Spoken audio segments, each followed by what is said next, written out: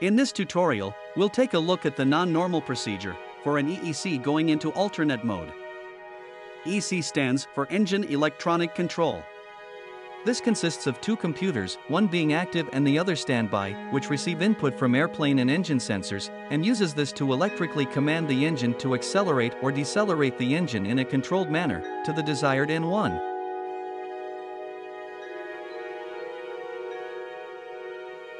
As soon as the master caution light illuminates, the flying pilot states, My aircraft.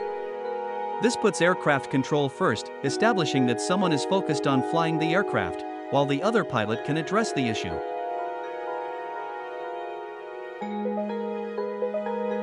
ENG, an abbreviation for engine, is illuminated on the first officer's annunciator panel. The annunciator panel's purpose is to draw the pilot's attention to a panel outside of their normal field of view, in this case, the EEC portion of the aft overhead panel. The auto throttle disengage lights are also flashing below the MCP. Having recognized an issue exists, the master caution light is extinguished to prevent becoming a distraction.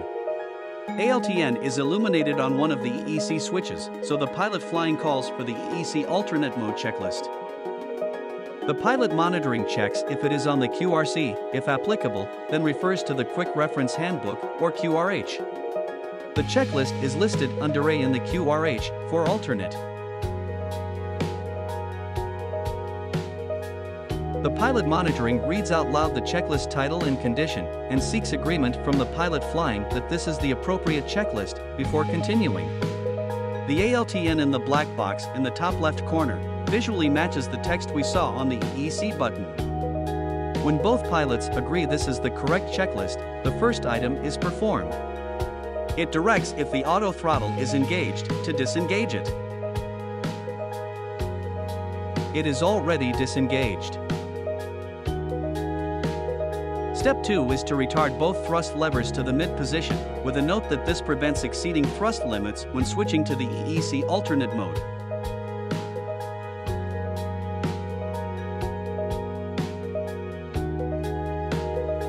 Step 3 directs us to switch the EEC mode switches one at a time to the alternate mode, with a note that this ensures both engines operate in alternate mode.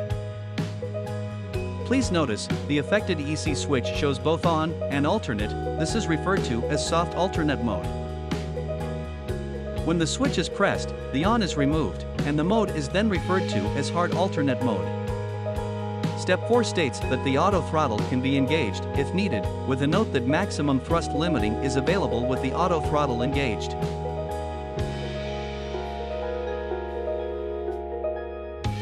Step 5 warns to not exceed engine limits and states that engine limit protection in alternate mode is not the same as in normal mode. Step 6 is conditional, using bold text to draw the pilot's attention to it being an if conditional step. If the display source annunciation is shown and the display source checklist has not been completed, then we'd go to the display source checklist. In this case, the annunciation is not shown, and therefore the four black boxes indicate the EEC alternate mode checklist has now been completed. This short checklist demonstrates how a non-normal issue is safely addressed using standardized procedures. Please subscribe to learn of our future videos, and feel free to comment below. Thank you.